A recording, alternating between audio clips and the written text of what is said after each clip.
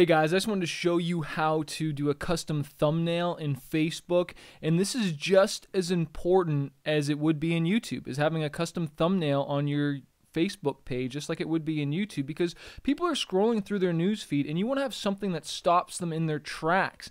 And the reason I noticed this is because I uploaded a video and I didn't like the thumbnail that they put there when um, just by automatically. They ended up grabbing a thumbnail automatically from the video I uploaded and so I wanted to change it because I wanted it to make sure it represented the video that I posted. I wanted it to be the coolest thumbnail it could be. So even if you've already uploaded a video previously, you can go to that video right here. You click on this down arrow, you click on Edit Post, and then you can scroll down. And then right here, this is the picture, and you click on Custom all right? And then you can choose your own. I can also just scroll through and grab whatever i want through the through the video and it'll let me choose one automatically and i can you know decide if i want that one if i want or i can upload my own. And so i'm actually just going to use that one and then click save. Because it's important that you have an eye catchy thumbnail that's going to grab people's attention.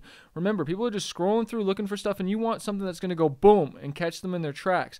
This is just a photo, and I uploaded this photo because it works really well. Well, why not make sure you have a cover that works really well with your videos? It's worth putting in the time.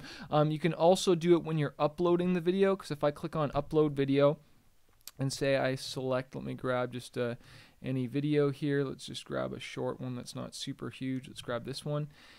And now that that's uploading right here, add custom thumbnail. So while this is uploading right now, I can just click on add custom thumbnail and get that done before I even publish it or schedule it or whatever it is I want to do. So hope that provides you guys value. Every little thing helps. Adding video tags helps. Having a video title helps. Having a call to action helps. All the little things that you can do um, makes a difference. And so it all adds up to something. The thing is, man, what's easy to do is also easy not to do. So I suggest you take action and just get her done.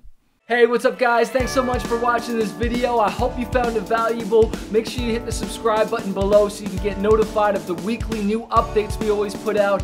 Also, if you're a struggling artist, and you're just trying to figure out what to do next in this crazy music industry, maybe you feel overwhelmed and you just don't know what to do next, I want to encourage you to check out fanbaseuniversity.com. It's a membership area where we're helping hundreds of other artists grow their platform, grow their fan base, sell more music, the real nuts and bolts and the how to to grow your music industry career. Head over to fanbaseuniversity.com and join our membership and get the help and the support you need to grow your music career.